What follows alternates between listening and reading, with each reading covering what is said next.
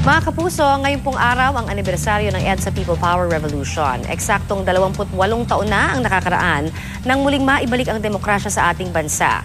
Pebrero 25 noong taong 1986, umalis ng bansa si dating Pangulong Ferdinand Marcos matapos ang apat na araw ng uh, mapayapang revolusyon kontra sa diktaturya. Noong araw ding yon, nanumpa si Corazon Aquino bilang Pangulo ng bansa. Hindi na maitatangging isa yon sa mahalagang araw sa kasaysayan ng Pilipinas.